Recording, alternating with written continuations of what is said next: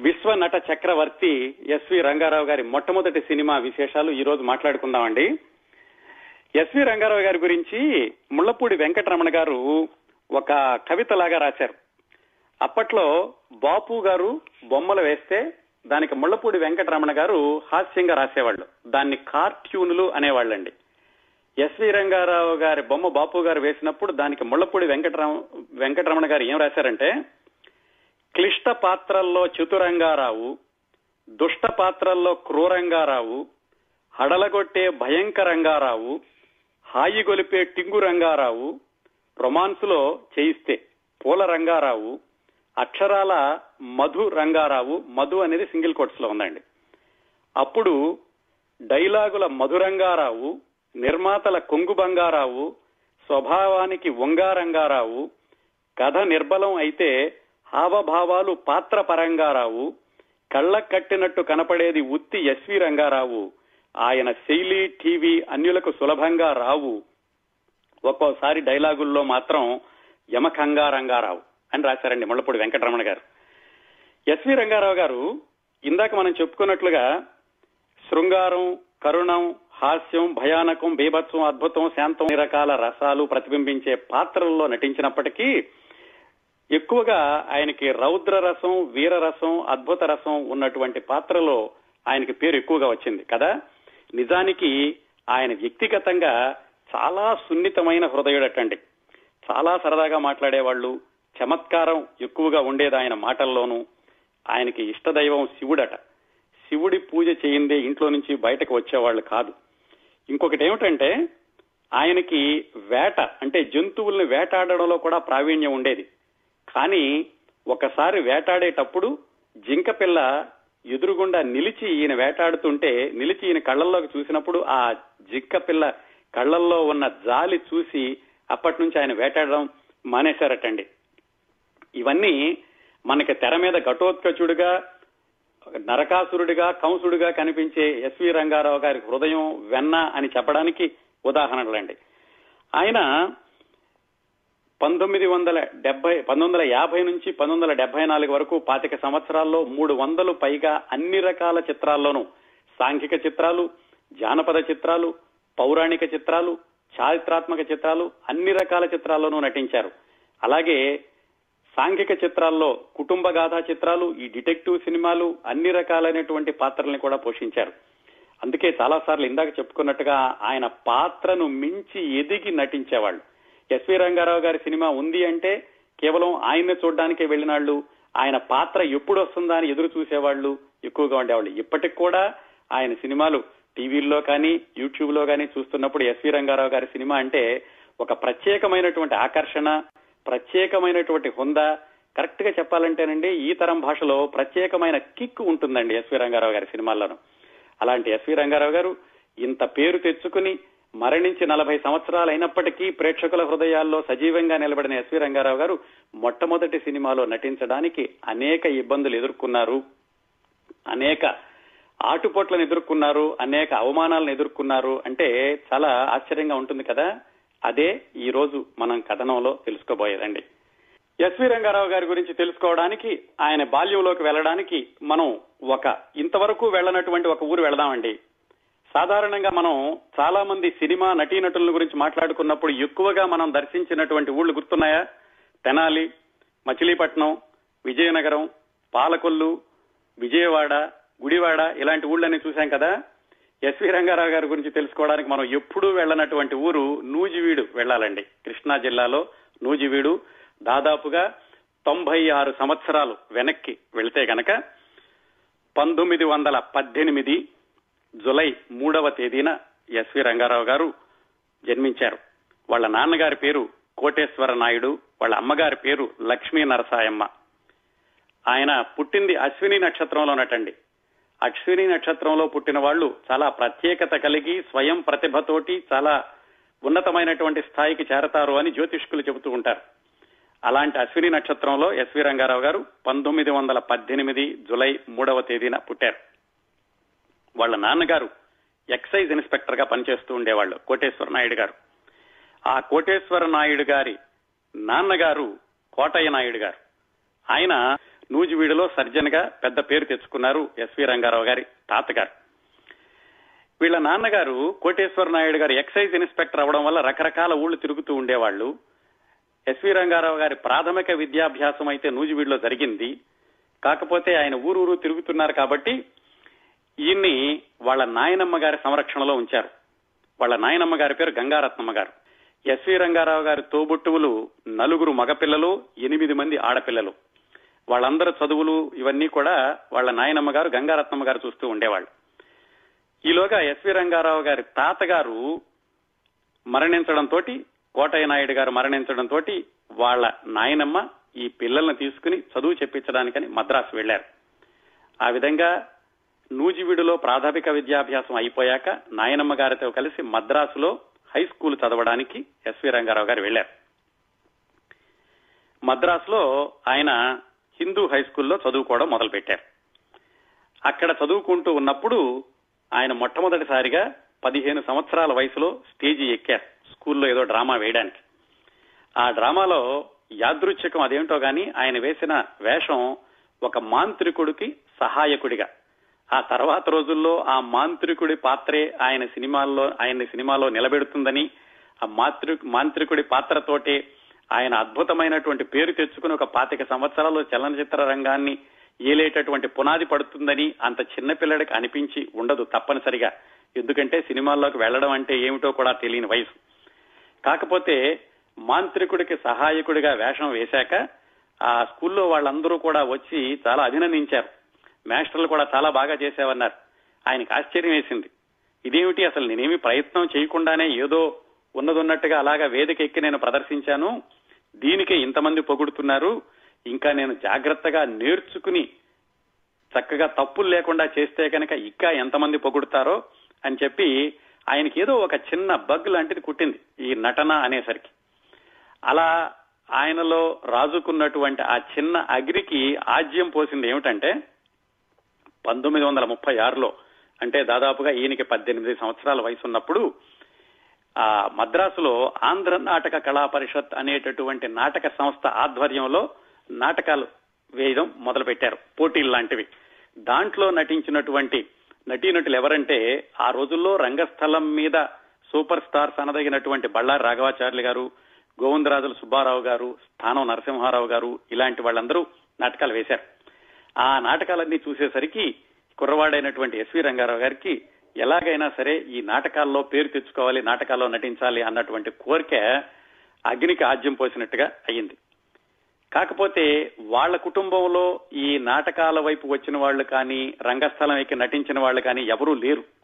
ఈయనకి ఎందుకో ఆ మొదటి నాటకంతో అందరూ మెచ్చుకోవడం ఈ నాటకాలని చూడడంతో ఎట్లాగైనా సరే గొప్ప నటుడు అవ్వాలి అనేటటువంటి కోరిక ఆయన మెదడులో పడిపోయింది.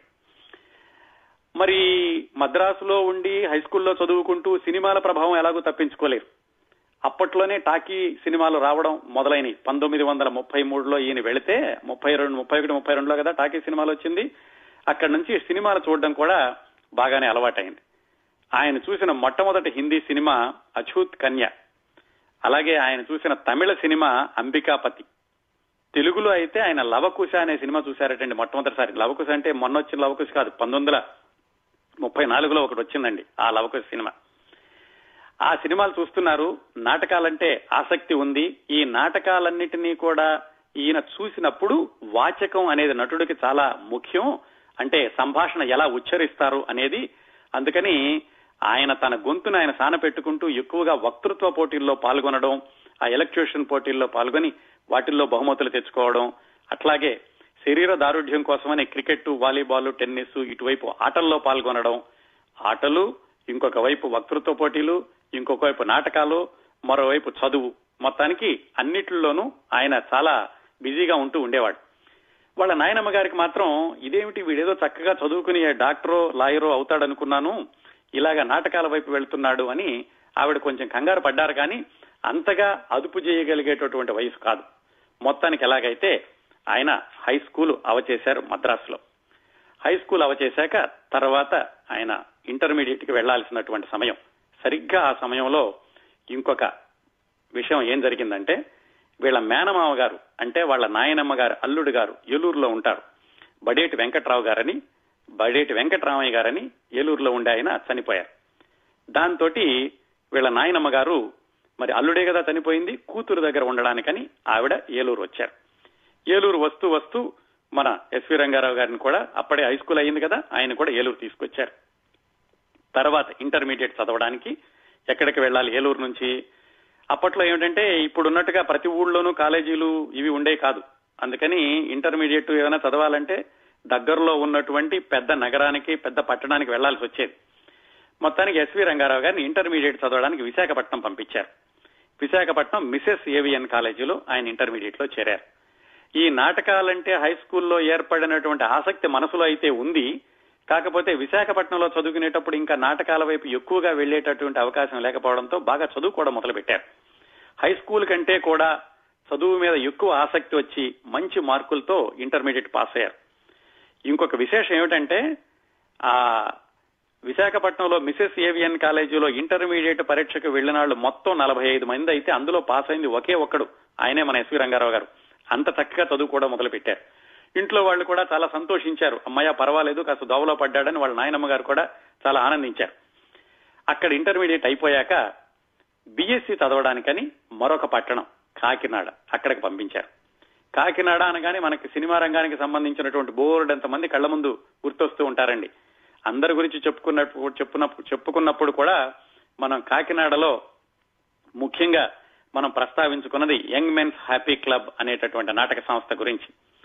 ఎస్వి రంగారావు గారు కాకినాడలో బీఎస్సీ చదువుకోవడం మొదలు పెట్టగానే మళ్ళీ ఈ నాటకాల వైపు ఆకర్షణ మొదలైంది. ఎందుకంటే కాకినాడలో నాటక రంగ నాటక రంగానికి ఎక్కువ ఆదరణ ఉండేది రంగస్థల నాటకాలు కూడా ఎక్కువగా ప్రదర్శించేవాళ్ళు పంతొమ్మిది వందల పదహారులో అంటే దాదాపుగా వంద సంవత్సరాల క్రిందట కాకినాడలో నలుగురు కుర్రాళ్ళు యంగ్ మెన్స్ హ్యాపీ క్లబ్ అని ఒక చిన్న నాటక సంస్థను ప్రారంభించారండి.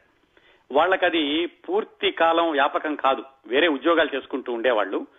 నలుగురు కలిసి ఏదైనా నాటకాలు వేస్తే బాగుంటుంది అని యంగ్ మెన్స్ హ్యాపీ క్లబ్ అనే పేరుతో ఒక చిన్న సంస్థను స్థాపించి నాటకాలు వేయడం మొదలుపెట్టారు అందరినీ కూడగట్టుకుని. ఓ పది సంవత్సరాల తర్వాత ఆ సంస్థను రిజిస్ట్రేషన్ చేయించారు. ఇప్పటికి కూడా ఉందండి. వంద సంవత్సరాల చరిత్ర కలిగిన young men's happy club Telugu సినిమాల్లో ఆ రోజుల్లోనూ తర్వాత రోజుల్లోనూ కూడా సినిమా రంగ ప్రవేశం చేసిన ఎంతో మందికి పునాది ఈ young men's happy club. Telugu సినిమాలో వచ్చిన మొట్టమొదట మొట్టమొదట్లో దర్శకుడైనటువంటి చిత్తతల్లు పుల్లయ్య గారి దగ్గర నుంచి మొదలుపెట్టి ఆ తర్వాత Jagapathi pictures V B Rajendra Prasad garu Purnodaya creations ఏడిది Nageswararao గారు వీళ్ళందరికీ కూడా పునాది వేసింది నాటకాల్లో ఈ యంగ్ మెన్స్ హ్యాపీ క్లబ్. మరి సహజంగానే నాటకాలంటే ఆసక్తి ఉంది. కాకినాడలో చదువుకుంటున్నాడు ఈయన. మరి చక్కటి గంభీరమైనటువంటి విగ్రహం వాచకం వీటన్నిటినీ అభ్యాసం చేస్తున్నారు. మరి ఆయన కూడా సహజంగానే ఈ యంగ్ మెన్స్ హ్యాపీ క్లబ్ యొక్క ప్రభావాన్ని తప్పించుకోలేకపోయారు.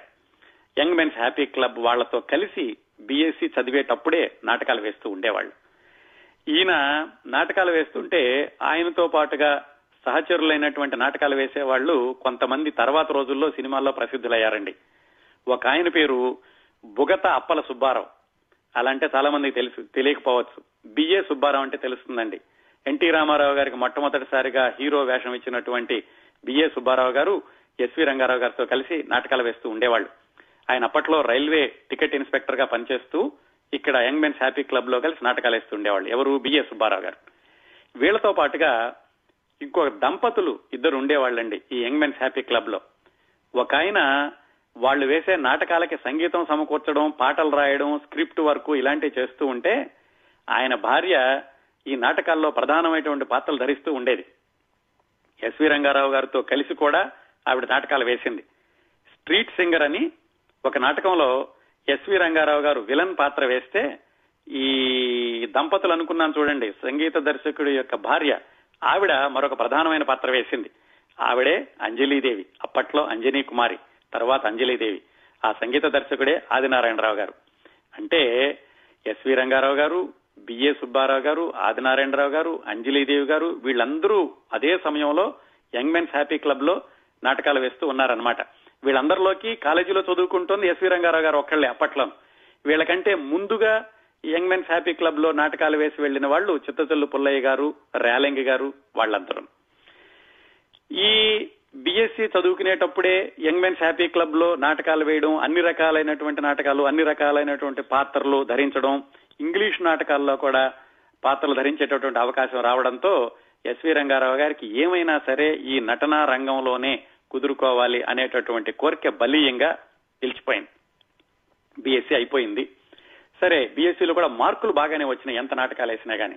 ఇంట్లో వాళ్ళకి మాత్రం తృప్తిగానే ఉంది. పర్వాలేదు నాటకాలు వేస్తే వేశాడు మంచి మార్కులతో పాస్ అయ్యాడు అని.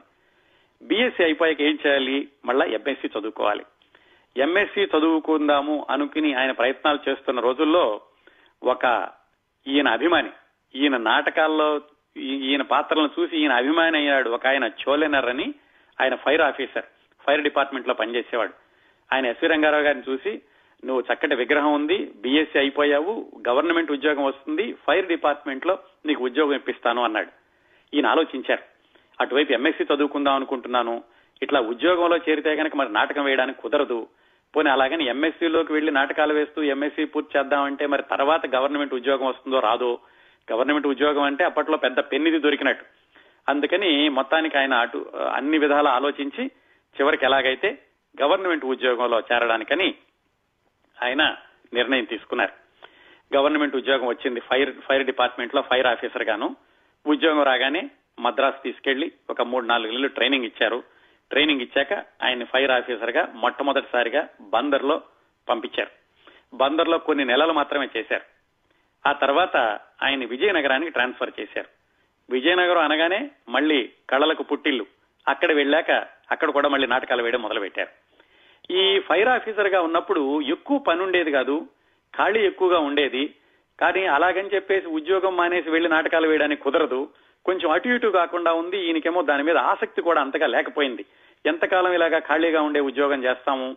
వేరే పని ఏదైనా ఉంటే కనుక నాటకాల్లో పూర్తిగా వేసుకోవడానికి ఉపయోగం ఉంటుంది. ఇలా ఆలోచిస్తున్న రోజుల్లో ఆయన జీవితం ఒక మలుపు తిరిగింది.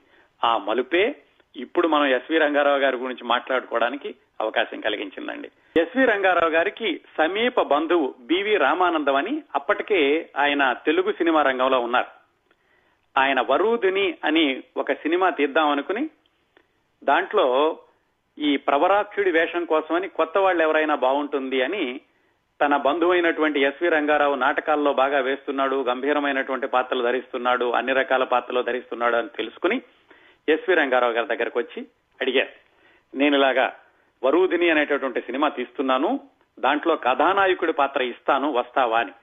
మరి రంగారావు గారు అప్పటికే ఈ ఫైర్ ఆఫీసర్ ఉద్యోగంతో అంత తృప్తిగా లేరు. ఎప్పుడు మానేద్దామా అవకాశం వస్తుందా అని చూస్తున్నారు. నాటకాల్లో మరి అప్పటికే చాలా పేరు తెచ్చుకున్నారు.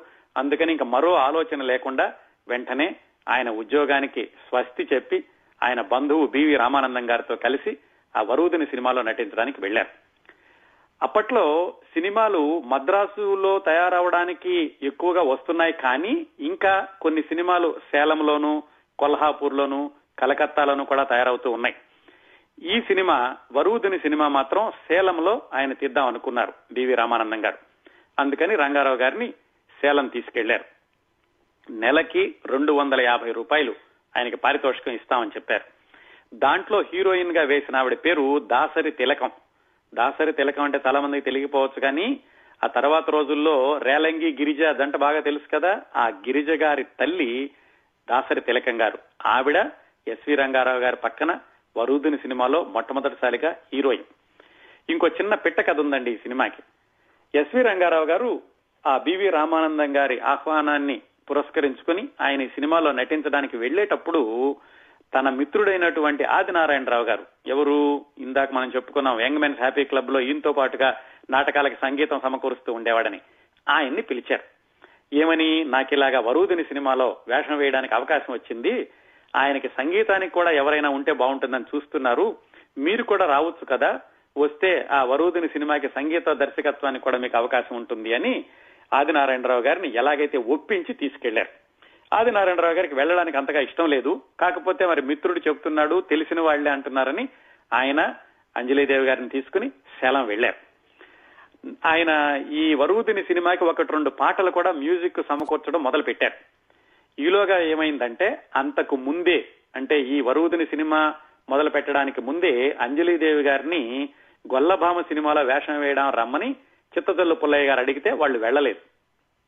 ఇట్లా సేలంలో వరూదిని సినిమా కోసం వీళ్ళు వెళ్ళారని తెలిసి పుల్లయ్య గారు వీళ్ళకి కబురు చేశారు సేలంకి. మీరు వచ్చేసేయండి ఒకవేళ మీరు ఆ సినిమాలో వేషం వేస్తున్నారేమో అంజలిదేవితో అలాగైతే గనక ఆ సినిమా కంటే ముందు నేనే అడిగాను కాబట్టి నా సినిమాలో వేషం వేద్దురు గాని అని. అప్పుడు ఈ బివి రామానందం గారు ఈ ఆదినారాయణరావు గారికి చెప్పారు. ఏమండి మీరు గనక అలా మద్రాసు వెళ్ళదలుచుకుంటే నా సినిమాకైతే మళ్ళా మీతో సంగీతం చేయించుకోను అని. ఈ షరతులన్నీ పెడుతున్నాడని చెప్పేసి ఆదినారాయణరావు గారు ఇంకా ఈ వరుదిని సినిమాను వదిలేసి అంజలిదేవి గారిని తీసుకుని మద్రాసు వెళ్ళిపోయారు ఆ విధంగా ఎస్వి రంగారావు గారు ఆదినారాయణరావు గారికి సంగీత దర్శకుడిగా అవకాశం ఇద్దాం అనుకుంటే రకరకాల కారణాల వల్ల వాళ్ళిద్దరూ ఈ సినిమా నుంచి పక్కకి వెళ్ళిపోయారు ఎస్వి రంగారావు గారు మాత్రం ఈ దాసరి తిలకంతో కలిసి ఈ సినిమా షూటింగ్ మొదలు పెట్టారు అది కొనసాగింది. కాకపోతే ఏమైందంటే అంతవరకు కూడా రంగస్థలం మీద ఈ ఎస్వి రంగారావు గారు పక్కన వేసిన వాళ్ళలో ఆడవాళ్ళు ఎక్కువగా లేరు. ఆడపాత్రలు కూడా మగవాళ్ళు వేస్తూ ఉండేవాళ్ళు. ఈయనకి ఒక్కసారిగా ఈ వరూదిని పక్కన వేయడం అంటే పైగా ఆ కథ కూడా మీకు తెలుసు కదా. వరూదిని రెచ్చగొడుతూ ఉంటుంది ప్రవరాక్యుడిని ప్రవరాక్యుడు తప్పించుకోవాలని చూడాలి. ఈ వేషాలని వేయడానికి మొత్తానికి ఆయన చాలా ఇబ్బందిగా ఫీల్ అయ్యారు. ఆ ఇబ్బందిగా ఉంటూనే ఎలాగైతే ఆ సినిమా పూర్తి చేశారు. ఆయనకైతే సంతృప్తికరంగా రాలేదు. ఎందుకంటే పూర్తి స్థాయి ఆయనలోని నటుడిని బయటకు తీసుకురాలేదు. ఆయన రంగస్థలం మీద వేసిన పాత్రలన్నీ వేరు.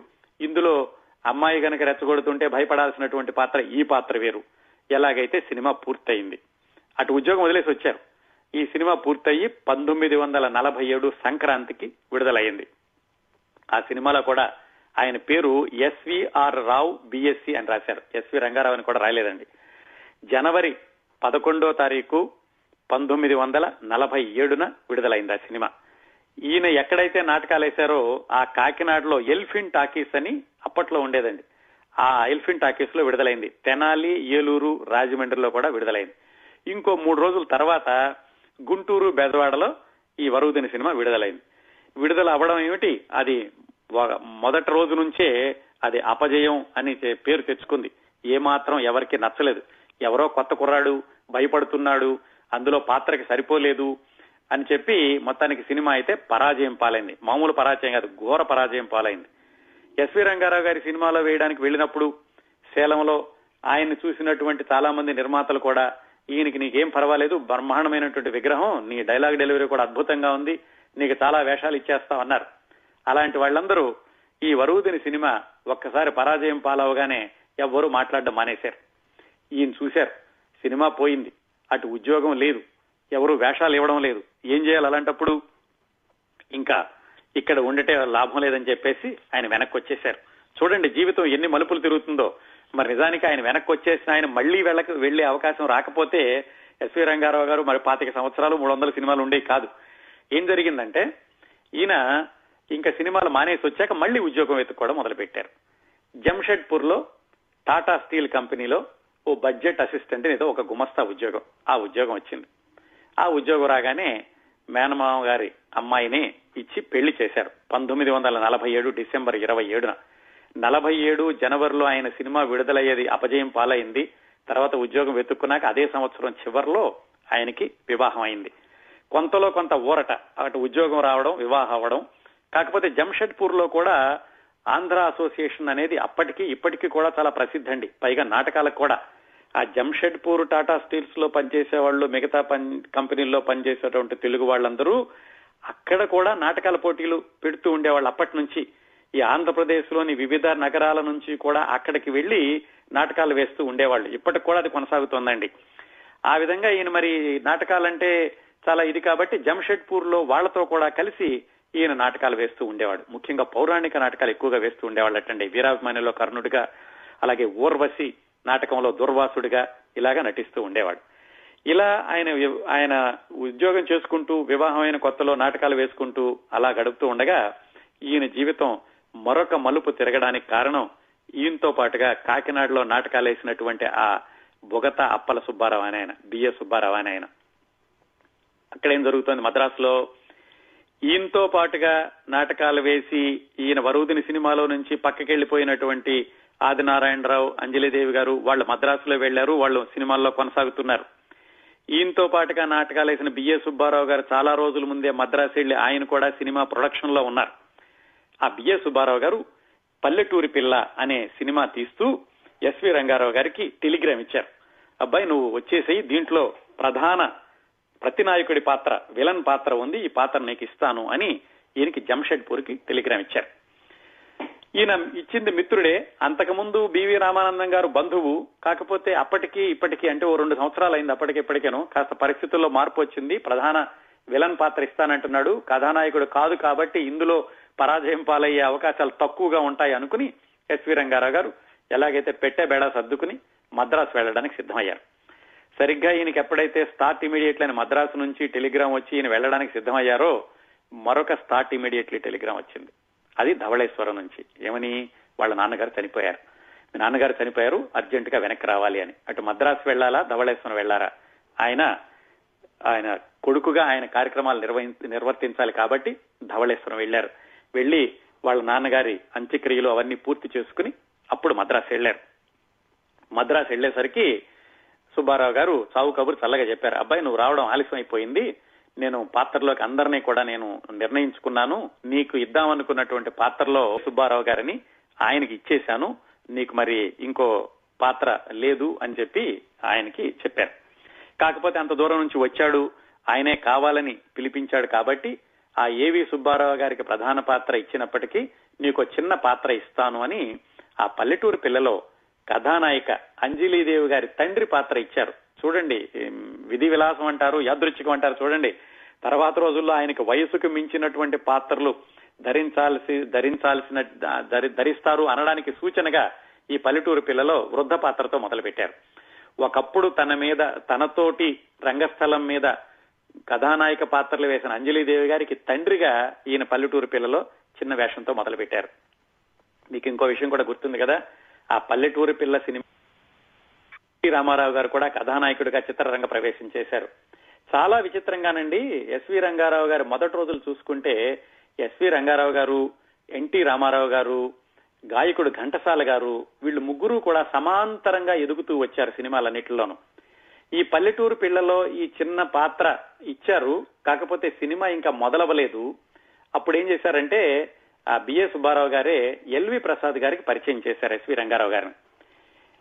ఎల్వి ప్రసాద్ గారు అప్పట్లో మన దేశం అనే సినిమాకి దర్శకత్వం వహిస్తున్నారు. ఎన్టీ రామారావు గారికి కూడా సరిగ్గా అలాగే జరిగింది. పల్లెటూరు పిల్ల మొదలవడం ఆలస్యం అవుతోంది. అందుకని ఎన్టీ రామారావు కుర్రాడు ఉన్నాడు కాబట్టి ఒక చిన్న వేషం చేయమని ఎల్వి ప్రసాద్ గారికి చెప్పడంతో ఎల్వి ప్రసాద్ గారు దాంట్లో ఓ చిన్న పోలీస్ ఇన్స్పెక్టర్ పాత్ర కానిస్టేబుల్ పాత్ర ఇచ్చారు ఎన్టీ రామారావు గారికి. సరిగ్గా ఎస్వి రంగారావు గారికి కూడా అలాగే జరిగింది. ఈయన వచ్చాడు ఈయనకి ఇస్తానన్న పాత్ర లేదు చిన్న పాత్ర ఉంది సినిమా ఆలస్యం అవుతుంది. బిఏ సుబ్బారావు గారు చెప్పడంతో ఎల్వి ప్రసాద్ గారు ఎస్వి రంగారావు గారికి కూడా మన దేశంలో ఓ చిన్న పోలీస్ ఇన్స్పెక్టర్ పాత్ర ఇచ్చారు. ఎన్టీ రామారావు గారు ఒక ఇన్స్పెక్టర్ ఈయన ఒక ఇంకొక ఇన్స్పెక్టర్. ఆ సినిమాలో ఒక నిమిషం రెండు నిమిషాల్లో కనపడే పాత్ర అండి. ఆ విధంగా ఇంకొక చిన్న పాత్ర దొరికింది. కాకపోతే ఏమాత్రం ప్రాముఖ్యత రాలేదు. ఈయన పేరు కూడా అసలు వెండి తెర మీద వేశారో లేదో కూడా తెలియదు ఎస్వి రంగారావు గారి ప్రేది మన దేశంలోను. ఈ పల్లెటూరు పిల్లలు అయితే హీరోయిన్ తండ్రి కాబట్టి దాంట్లో పేరు వేశారు ఎస్వి రంగారావు అని. మొత్తానికి పల్లెటూరి పిల్ల విడుదలైంది. పల్లెటూరి పిల్ల అద్భుతంగా ఆడింది. కానీ ఈయనకి కొంచెం గుర్తింపు అయితే వచ్చింది. కానీ ఇంక అందరూ కూడా మా సినిమాలో వేషాలు ఇస్తాం మా సినిమాలో వేషాలు ఇస్తాం అనేటటువంటి పరిస్థితి కాదు. ఇంకప్పుడు ఈయన ఈ రెండు చిన్న పాత్రలు అయిపోయినాయి. ఏం చేయాలి ఇదేదో విలన్ పాత్ర అనుకుని వస్తేనేమో చిన్న పాత్రలు వచ్చినాయి. మళ్ళీ వెనక్కి వెళ్ళిపోయి మళ్ళీ మూడోసారి ఉద్యోగం చూసుకోవడమా? ఇక్కడే ఏదైనా ప్రయత్నాలు చేయడమా? ఈసారి ఏమైనా సరే ఎట్టి పరిస్థితుల్లో వెనక్కి వెళ్ళే ప్రసక్తి లేదు. ఏమైనా సరే ఇక్కడే ఎలాగైనా సరే అవకాశాలు సంపాదించుకోవాలి అనుకుని ఆయన అక్కడే ఉన్నారు. అక్కడ ఉన్నప్పుడు ఈయన కొంచెం సేపు పాత్ర పోషించినప్పటికీ ఆ మన దేశం సినిమాలో ఈయన వేషాన్ని చూసిన ఎల్వి ప్రసాద్ గారు ఈయనకి రికమెండేషన్ చేయడం మొదలు పెట్టారు అక్కడక్కడికి. ఎల్వి ప్రసాద్ గారు ద్రోహి అనే సినిమా తీస్తున్నారని చెప్పి ఈయన వెళ్ళారు. వెళితే ఆయన నీకు తప్పనిసరిగా ఇచ్చేవాడినయ్యా కానీ ఇప్పుడే ఇంతకు ముందే ఆ వేషానికి రాళ్ళ వంటి కుటుంబరావని ఆయనకి ఇచ్చాను నేను ఇవ్వలేకపోతున్నాను అని చెప్పారు. దాంతో అది కూడా పోయింది ఆయన. తర్వాత ఎల్వి ప్రసాద్ గారే రికమెండ్ చేశారు. పి పుల్లయ్య గారిని ఆయన తిరుగుబాటు అనే ఒక సినిమా తీస్తుంటే దాంట్లో ఈ కుర్రాడికి వేషం ఇవ్వు నేను ఇద్దాం అనుకుంటే నా దగ్గర ఏమీ అవకాశాలు లేవనేసరికి ఆయన తిరుగుబాటు అనే సినిమాలో ఒక చిన్న పాత్ర ఇచ్చారు. ఏమి కూడా గుర్తింపు వచ్చిన పాత్రలు కాదు. ఎస్వి రంగారావు అని కూడా ఎవరికి తెలియలేదు అప్పట్లోను. ఈ ఎల్వి ప్రసాద్ గారే మళ్ళా హెచ్ఎం రెడ్డి గారని ఆయన దగ్గరికి తీసుకెళ్ళి నిర్దోషి అనే సినిమా తీస్తుంటే ఏమైనా వేషం ఇవ్వమని ఆయన సిఫార్సు చేశారు. ఆయన ఏమన్నారంటే అయ్యో ఇప్పుడు వచ్చావా? నిన్ననే ఈ వేషానికి ముక్కామల గారిని నేను బుక్ చేసుకున్నానయ్యా. దీంట్లో పాత్ర లేదు అన్నారు. ఇన్ని సంఘటనలు జరిగినాయండి. ఆయన మన తెర ముందుకి ఎస్వి రంగారావు అని గంభీరంగా తెర ముందుకి మన ముందుకు రావడానికి వెనకాల ఇన్ని ప్రయత్నాలు జరిగినాయి. ఇలాగా ఐదారు అవకాశాలు పోయినాయి. ఇంటి దగ్గర నుంచి ఒత్తిడి పెరిగింది. ఎంతకాలం ఉంటావు? ఏం చేస్తావు? వివాహం కూడా అయింది. వెనక్కి రమ్మని. ఏమైనా సరే నిరూపించుకోవాలి ఇక్కడే ఉండాలి అనుకుంటున్న రోజుల్లో ఆయనకి నిజమైనటువంటి నటరంగంలో ఆయన మలుపు చలనచిత్ర రంగంలో ఆయనకి గట్టి పునాది వేసింది స్థిరపడేలా చేసింది సినిమా షావుకార్. అప్పుడే ఈ విజయ పిక్చర్స్ వాళ్ళు నాగిరెడ్డి చక్రపాణి వాళ్ళు విజయ పిక్చర్స్ అనేటటువంటి చిత్ర నిర్మాణ సంస్థను మొదలు పెడుతూ దాంట్లో కాంట్రాక్టింగ్గా తీసుకున్నారు కొంతమందిని. ఎవరిని? ఎన్టీ రామారావు గారిని ఘంటసాల గారిని అలాగే కొంతమంది సాంకేతిక నిపుణుల్ని. వాళ్ళతో పాటుగా ఎన్టీ మన ఎస్వి రంగారావు గారిని కూడా ఒక ప్రధాన పాత్రకి తీసుకున్నారు. ఆ షావుకారికి దర్శకుడు కూడా ఎల్వి ప్రసాద్ గారు. ఎందుకంటే మన దేశం దగ్గర నుంచి కూడా ఈ ఎస్వి రంగారావు గారికి మంచి పాత్రలు ఇప్పించాలి అని ప్రయత్నాలు చేసిన వాళ్ళలో ముఖ్యులు ఎల్వి ప్రసాద్ గారు. అందుకని ఈ మన దేశం సినిమా తీసేటప్పుడు నిజానికి ఈయన వేసినటువంటి సున్నం రంగడు అనే పాత్రకి ఇంకొక ఆయనకి ఇద్దాం అనుకున్నారు. సదాశివరావు అని అప్పట్లో గొప్ప నటుడు.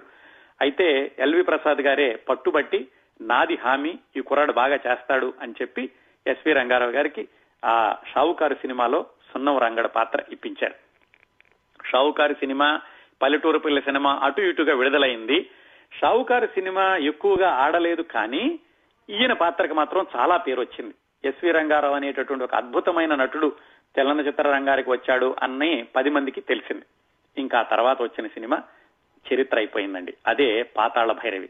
పాతాళ Bhairavi సినిమాతోటి N T Rama Rao garu mass hero అవడం ఎస్వి రంగారావు గారు ఆ నేపాళ మాంత్రికుడి పాత్రతోటి తెలుగు ప్రజల హృదయాల్లో చిరస్థాయిగా నిలిచిపోయారు. అక్కడి నుంచి మొదలుపెట్టి ఆయన చనిపోయే వరకు కూడా దాదాపుగా మూడు వందల సినిమాల్లో నటించారండి. పంతొమ్మిది వందల డెబ్బై నాలుగులో ఆయన చనిపోయారు. అప్పటి వరకు కూడా మూడు వందల సినిమాల్లో విభిన్నమైన పాత్రల్లో ఆయన తెలుగువారి గుండెల్లో చిరస్థాయిగా నిలిచిపోయారు. ఆయన నటించినటువంటి పాత్రల విభిన్నత ఆ పాత్రల్లో ఉండే పాత్రలలో ఆయన ఒదిగే విధానం పాత్రల్ని మించి ఎదిగిన విధానం ఇవన్నీ కూడా ఆయన ఒక విలక్షణమైన క్యారెక్టర్ యాక్టర్గా నిలబెట్టాయండి. ఇంకా ఎస్వి రంగారావు గారి మిగతా సినిమాల్లో పాత్రల గురించి ఆయన ప్రత్యేకతల గురించి మరోసారి అవకాశం ఉన్నప్పుడు మాట్లాడుకున్నాం మాట్లాడుకుందాం. ఇది మొదటి సినిమా కాబట్టి ఈ కార్యక్రమాన్ని ఇంతటితో ముగిద్దామండి.